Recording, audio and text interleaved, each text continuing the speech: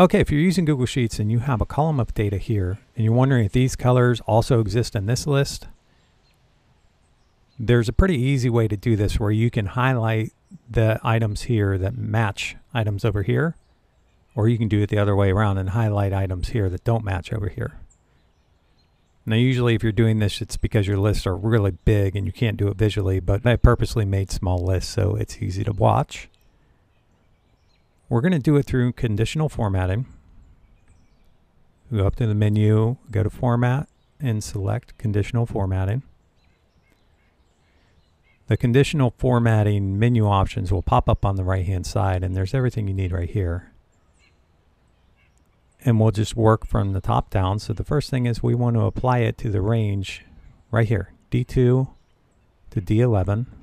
You can select that with your mouse, but I'm just going to type it in. D2 with a colon to D11. If you move your mouse out of there, it'll show that that's all highlighted now because it's only highlighting if it's not empty. So you're going to change that. You're going to format the cells if, and we're going to make a custom formula, which is at the bottom. I had to use a scroll bar to get down there. And just click on custom formula is, and then it gives you a box that's waiting for the formula. You're going to want to type this in just like you're typing in in a spreadsheet cell. One of the differences though is now it's not going to help you. So once you start typing the function, it's not going to pop up with the help. So if you want to practice, you can actually do the formula in a cell over here and it'll help you build it. But I know what I want to do, so let's just do this. You want to use a function called match.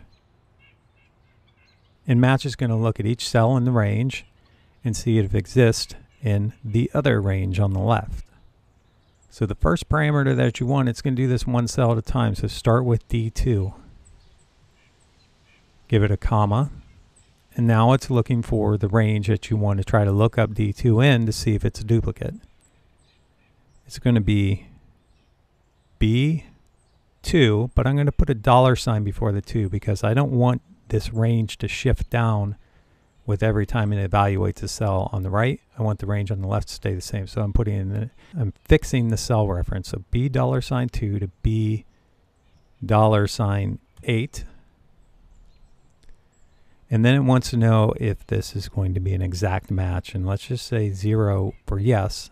So if it finds exactly yellow, it's going to highlight it and then close it off with the parentheses, you'll see that the box that contains this function changed from red to blue, meaning that the function is now a valid function, and it's already working. You can see it highlighted red and green because red is over on the list on the left, but it didn't highlight orange because orange isn't over here.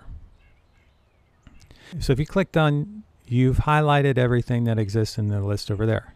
So if you want to do this the opposite way and highlight the items in this list that aren't in the list on the left, let's just change this formula a little, a little bit. So you don't have to redo the formula, just go back in it and click on it. But you're going to wrap it in a function called ISNA. And that function is just basically saying, look, if this function doesn't work, highlight it, not if it does work. After the ISNA, put a parenthesis, and then go to the very end and close it with the parentheses. But right here, I'm going to stop. You know it's not working yet because it's surrounded in red. Put this parentheses on, it'll be surrounded in blue. And it's inverted the function. So yellow is unique. It's not unique in this list, but it doesn't exist over here, and that's what we were trying to do. And the same with orange and gray. So just click done and that's what we wanted to do. So I hope that was helpful. Nice little short tutorial for you. If you like that and want to see other tutorials like it, if you could subscribe in the lower right hand corner, you'll see them. Thanks.